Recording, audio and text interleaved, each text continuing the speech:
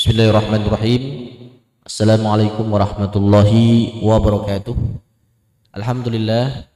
Alhamdulillahi rabbil alamin. Wa bihi nasta'inu ala umuri dunya waddin. Asyhadu an la ilaha illallah wahdahu la syarikalah. Wa asyhadu anna sayyidina wa nabiyyana Muhammadan abduhu wa rasuluhu la nabiyya ba'dah. Allahumma salli wa sallim ala sayyidina Muhammad wa ala ali sayyidina Muhammad.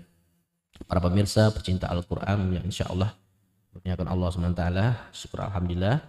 Pada kesempatan ini kita berjumpa kembali Di tutorial membaca ikro ya Yang mana kita akan terus eh, berjuang Terus apa namanya Melanjutkan pembelajaran kita Sampai tamat untuk ikro ini ya. Ikro 1 sampai ikro 6 Kita sama-sama berdoa. Mudah-mudahan Allah SWT memberikan kita keistiqomahan ya. Dan saya doakan anda yang uh, sedang mengikuti program ini Allah beri kemudahan sehingga Anda lancar dalam mengajinya ya. Oke, langsung saja teman-teman pada saat ini kita akan lanjutkan yang mana pada pertemuan yang kedua kita sudah sampai halaman 42 jadi sekarang 43 ya. Baik bagi Anda yang suka dengan video ini boleh di like, di subscribe karena subscribe itu gratis dan jika video ini bermanfaat monggo kami persilakan teman-teman semua untuk dibagikan ke teman-teman yang lain bisa juga buat anaknya cucunya buat teman yang belum bisa mengaji ya ataupun istrinya juga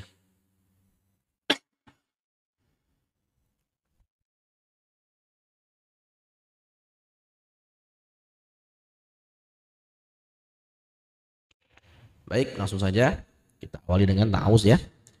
A'udzu billahi minasy syaithanir rajim. Bismillahirrahmanirrahim. Oke, seperti biasa Iqra 2 kita akan melihat ya perubahan huruf pada saat disambung ya. Oke, kita baca pelan-pelan dan jangan dipanjangkan ya. Ro'a Ro'a di a a harus dibedakan. Ro'a Khotoba khotoba hadama. Hadama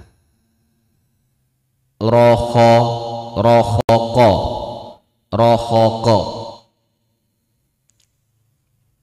azoma. Azoma. Sorofa. Sorofa. Anako. Anako. Yasa'a. Yasa'a wajada. Wajada. Syaghala syaghala ghasaqa ghasaqa dohaka. Ya. Dohaka. Baik sekarang di sini ada penjelasan sedikit teman-teman. Nih. Jika bacaan sini panjang-panjangkan karena berpikir membacanya putus saja. Jadi kalau teman-teman nanti misalkan uh, ini wah uh, eh, wanya dipanjangkan misalkan karena mikir ini rupa huruf ini. Jadi ini dipanjang.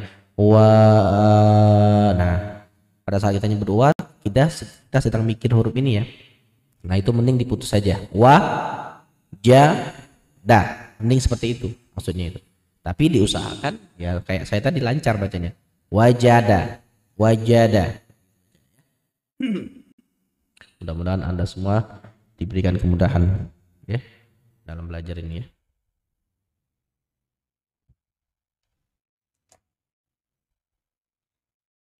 Oke.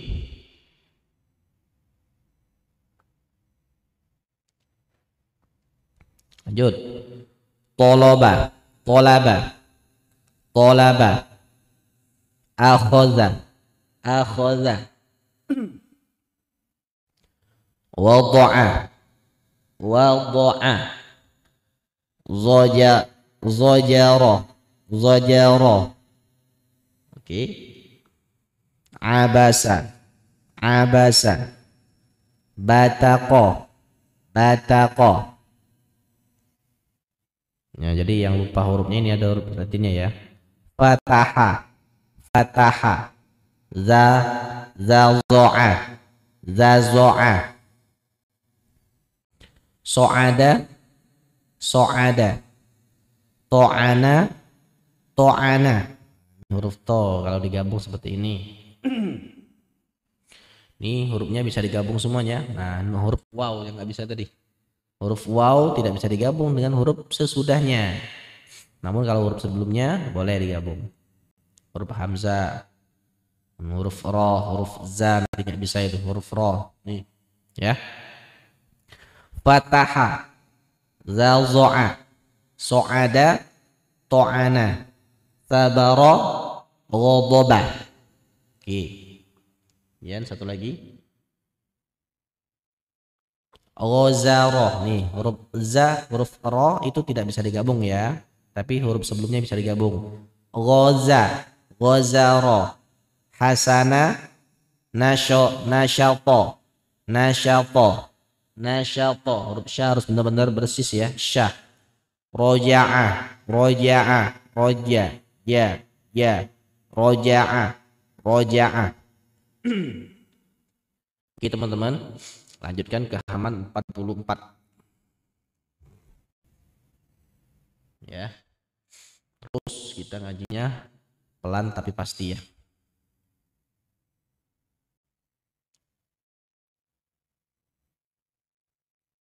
Pelan tapi pasti. Oke. Nafako. Nafako. Perhatikan pada saat disambung bentuknya. Fakoma Fakoma. Nah, ini huruf mim ya. Kalau di tengah di akhir di, di ini di tengah seperti ini bentolannya ya. Nih huruf mim ini. Ma. Dan kalau di akhir dia ada garis seperti ini. kalau dia di tengah seperti ini aja biasanya. Bisa digabung semua ini. Ini bisa digabung semua ini. Fakoma. Fa uh, kofala. Kofala. Kofala Farogo, farogo. Nah, ini huruf roh. Gak digabung ya. Farogo, nafala, qabaha, waqa'a. Fasoha, jaroma, wazaka, tazara. Ya. Waqa'a. Tuh, tadi sudah nggak kelihatan ya, bentar. Kita lagi. Ah. Fasoha, jaroma wazaka tazara itu cara bacanya. Hayara yakhadha yakhadha syara'a syara'a syara'a syara'a nazafa nazafa kemudian yadaka yadaka dogoto Dhagata Saqala Saqala Syafa'ah Syafa'ah okay. Azamah Syafa'ah Kita tahu ini dulu hmm. Azamah Yasara Tabaqa Nafara okay. Nafara Kemudian aqama. Farada farada. Faroda ya. Faroda farosha farosha ba'aya. Ba'aya farosha faroda Oke, kita lanjutkan lagi pada halaman 45. Nah, ya. Kita ulang-ulang terus. Jadi semakin diulang maka huruf-huruf yang sudah kita hafal di kelas satu tuh semakin menempel ya. Semakin ingat kita. Sa'ala. Nasoha. Baya'a. Yaqona. Yaqona. Aqoda. Aqada baraza baraza waqaba waqaba sorofa. Sorofa. Khoroja. Khoroja. Safaqo safaqo ya. Zahaba. Ja'ala. Oke. Nih. Membacanya boleh putus-putus meskipun digandengkan hurufnya. Jadi putus-putus lebih baik daripada dipanjangkan, ya. Oke, kita lanjutkan lagi.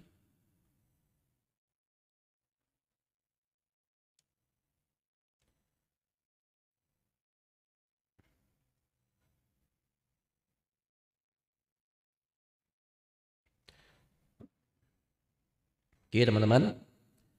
Wasaqah. Wasaqah. Fataka. Fataka. Wada'a. Wada'a. Nafasa. Nafasa. Tuh. Ini jangan lupa huruf do itu penulisan latinnya huruf D H O ya, do. Kalau fa itu F hmm, yang lainnya nah ini huruf ogo juga harus diingetin ya kalau huruf latinnya dia huruf giha ogo ogo sako ini sama tulisannya nih ogo sako tulis ya. Ba'atha. Ba'atha. Khotoma. Khotama. Khotama. Safala. Hasyara. Hasyara.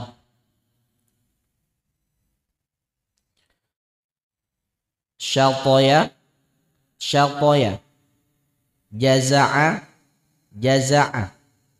Faqada. Faqada. Nazama. Nazama.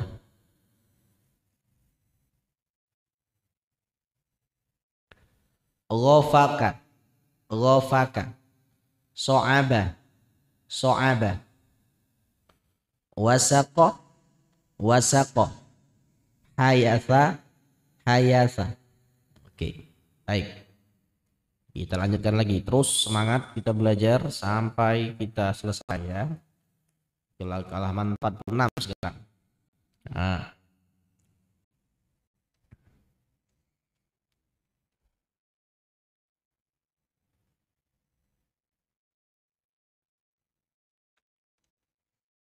Oke, baik. Di halaman 46 ini kita dihadapkan masih seperti biasa mengenali huruf yang disambung ya. Kata ba. Jadi e, bacanya kata ba. Oh, kaf seperti ini kalau tidak disambung ya. Tapi kalau sudah disambung hurufnya seperti ini. Ah, jadi jangan bingung teman-teman. Ini K, ini ta seperti biasa, cuman beda kecil ininya sama ini aja nih. Gak masalah ini masalah variasi aja. Jadi kata ba kataba. Ya, jangan bingung kalau itu ini huruf kaf. Oke, jadi ada seperti ini kalau dia di akhir kalimat. Nah, ini contohnya. Kalau nggak disambung seperti ini bentuknya dia. Kalau disambung seperti ini bentuk hurufnya K. Oke, langsung saja. Sakata. Nah, ini sakata. Jadi jangan bingung dengan huruf K ya. Sakata. Sakata. Kazaba akala hakama taroka oke lanjut lagi.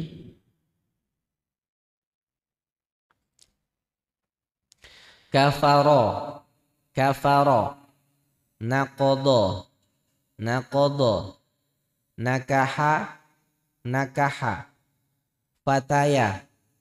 Fataya. Kadaro. Kadaro. Hafallah hafadha zaka'a zaka'a khotoya khotoya kemudian kata'a kata'a doroba. Doroba.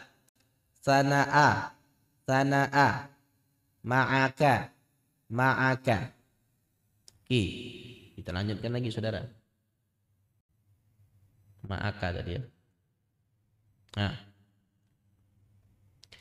Kasyafa. Kasyafa. Ghasaqa. Ghasaqa. Wayara. Wayara. Fasala. Kazama.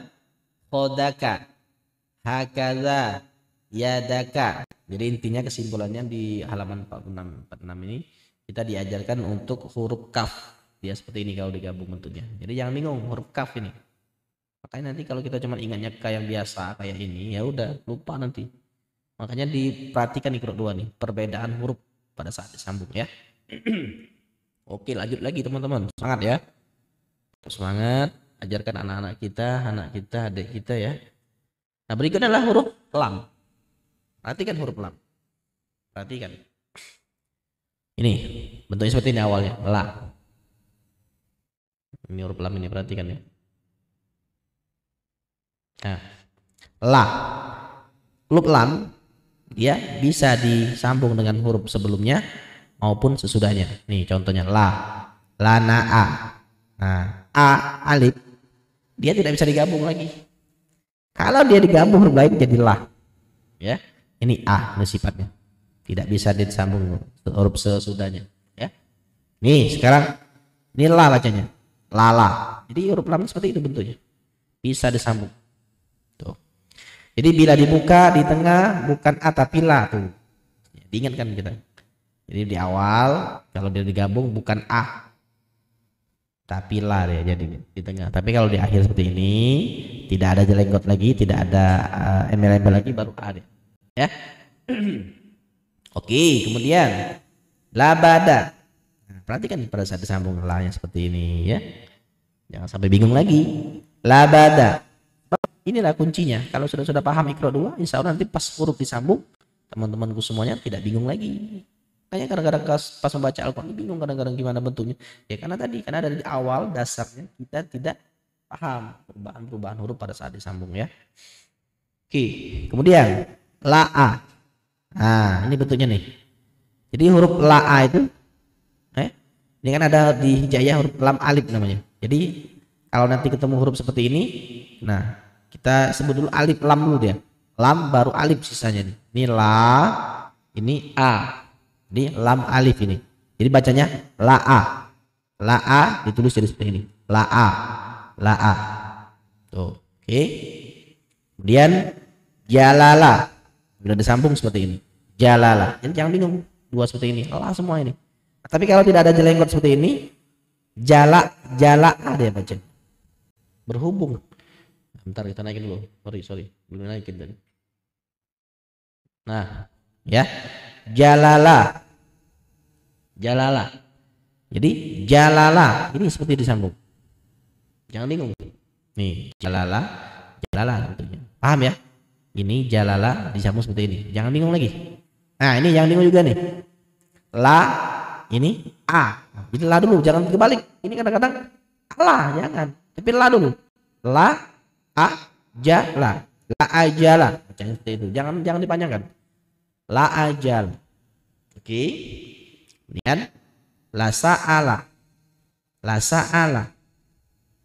Kemudian la dhalala. La dhalala. La naba'a. La naba'a. Wa mala wa mala'a. Wa mala'a. La akala la akala. Fabalagha fabalagho la salaka. La salaka. Belum naikin. Hmm. naikin dulu. Ya. Hmm. ya. Mana tadi? Wa mala'a la akala fabalagho ya bacanya. Kemudian la, la salaka. La salaka. Wa khoto'a. Wa khoto'a. Wa khola'a. Wa khola'a. Ya. Khola'a. Kemudian sa'alaka. Lala ama. Nah ini jangan bingung ini bentuknya. Nih sa'alaka. Ini la la ini a. Ini ma. Lala ama lala ama. Wahalala. Wahalala. Oke ya. Tujuh ya. Sekarang kita lanjutkan lagi. Halaman 48 hmm. was kita ini belum ada mat ya. Belum ada tanda panjang. Nanti bentar lagi ada tanda panjangnya. Hmm. Sekarang kita membedakan huruf mim dengan huruf ain ini. yang sampai ketipu kita. Ja, ma, a. Nah, huruf mim itu ma, a itu arti apa? Kalau kita nggak bisa membedain, bisa-bisa kita terkecoh ini. Ya, makanya harus kita bedakan. Jamaah, ini bentuk tulisannya. Ja, ini mimnya seperti ini nah. Nih, jamaah kalau mim tuh di tengahnya masih ada putih, masih ada kosong ya, ada ruangan kayak gitu. Jamaah, tapi ada juga yang enggak pakai ruangan ada juga biasanya. Jadi jangan tertipu ya, bentuknya harus benar-benar diperhatikan. Jangan sampai tertipu kita. Oke, nanti kita pahami ya. Nih. Jamaah. Amada. Uh, kalau disambung ya, pendek dia hurufnya, singkat. Jadi kita ambil ininya huruf ini huruf ain, ini huruf mimah, ini huruf dal, da. Amada Nih huruf sod, somada. Ya, jangan bingung lagi nih. Huruf zod, zolama. Ini huruf lam, ini huruf alif. Jadi la a khoza. La a khoza. Kemudian ini habsar, hamaza, hamaza. Zai ini, hamaza. Mim, perhatikan dengan kalimat. Nafaha, nafaha. Ghanama, ghanama. La asada, la asada.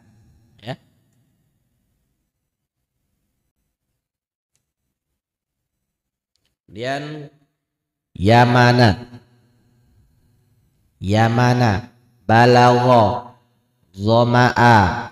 La amaro Nah ini La amaro Kemudian Kamada. Toma'a. Dowaya La aqoma Zamala. Zaid bisa disambung dia. Jadi Zaid itu berdiri sendiri. Kecuali di huruf sebelumnya bisa disambung. Zamala. Sona'a malaka. La azana.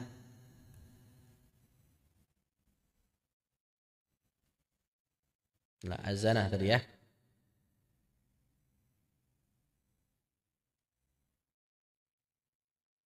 Nah. Kemudian hajama. Kazaba. Hasyama la alala. Nah, ini perhatikan. La a la la. Yang bingung itu. Banyak banget tulanya ya. Kemudian dohama. Basama. Kolama. La akala. La akala. Oke? Okay? ya kita satu halaman lagi. Habis itu selesai ya kita temuan yang ketiga ini. Hmm.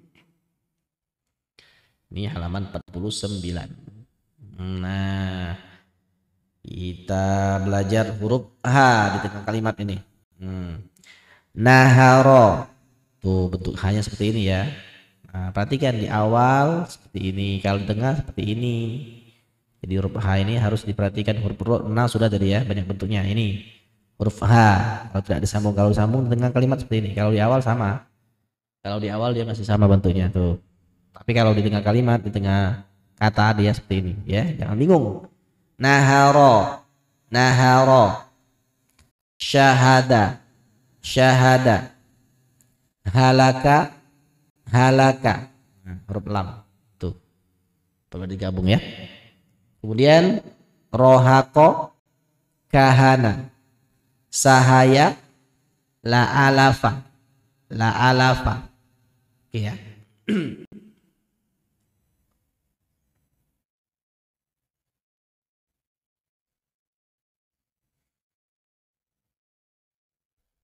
Kemudian dohasya kahala hayama la akhoza.